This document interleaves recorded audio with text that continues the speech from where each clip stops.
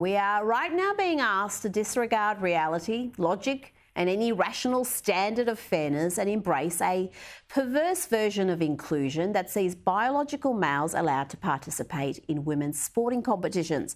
There's a reason why men and women have their own competitions because men are stronger, they're bigger, they're faster and natural born women cannot hope to compete against natural born men, no matter how they identify. The latest trans athlete to make a mockery of women's sport is swimmer Lia Thomas, who on the weekend won gold at an NCAA swimming event. Now, if you ask me, even though Lia is required to take testosterone suppressant treatment, the real winner was Emma Weyant. She's an Olympic silver medalist from the Tokyo Games, so we're talking about the elite of the elite. She should be listed as the winner, in my opinion, but the record books will show that she came in second to Thomas.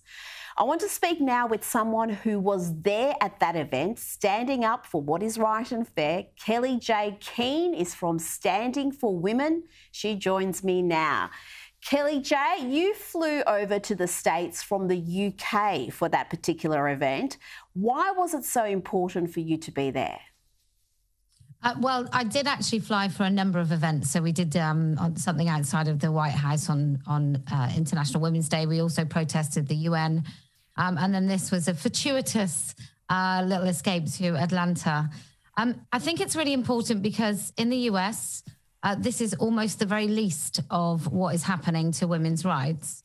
Um, whilst sports is really, really important, and I know it certainly is in Australia too, um, what else is happening to children's bodies and women's rights in America is absolutely catastrophic. So, this is a really good, very visual way of getting people to understand just what is going on uh, with respect to everybody having to pretend that these men are actually women. Well, the, the question of fairness, um, surely there can be no question that biological males have a physical advantage over natural born women. We, we, we, don't see women identifying as men competing in men's competition, for example, because they'd be absolutely trounced. it's so true. I mean, this is not just about elite sports either. This is about how dangerous it is right throughout, sort of from grassroots uh, five-a-side football right the way up to uh, this sort of elite sports and, and also in the Olympics. Um, and sport for women is not, well, sport for anybody. It's not just about winning. It's not even just about the gameplay. It's also about the camaraderie. It's about changing rooms. It's about safe spaces. It's about organizing in single sex spaces, which allows everybody to have a little bit of a uh, role and a journey that maybe they don't have if they don't participate in these sort of single sex um, events and sports. Mm-hmm. So it's mm-hmm. it's the whole thing. You know, it's not like I don't know what it's like in Australia. You have such uh, incredible sports, I'm sure, but over here in the UK, trying to get teenage girls to even participate in sport is really difficult.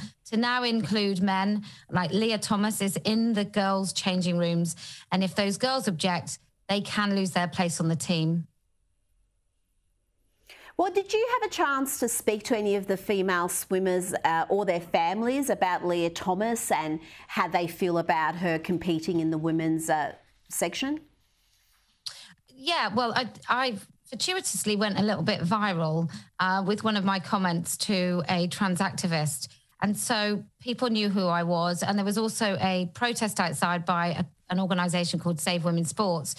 Um, the overwhelming num- uh, sort of feel of people entering that swimming pool that day, all the spectators and the families and the other swimmers, was one of gratitude that somebody was actually willing to stay, say something on their behalf because they can't.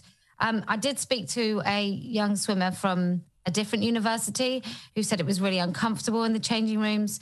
There was like a bizarre silence where nobody was allowed to acknowledge the fact that they were uncomfortable or that there was a man uh, in their space. So, you know, the, the gaslighting is astronomical. Uh, the grandpa- I spoke to parents and grandparents who are like, thank you so much.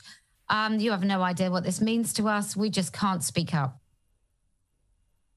Kellie-Jay Keen, thank you so much for joining me this evening and having the courage to get involved in this debate because there's a reason why so many of those swimmers and their families only speak anonymously to, to the media because they are absolutely terrified of the backlash that they, that would come their way. So thank you for being brave enough to do that.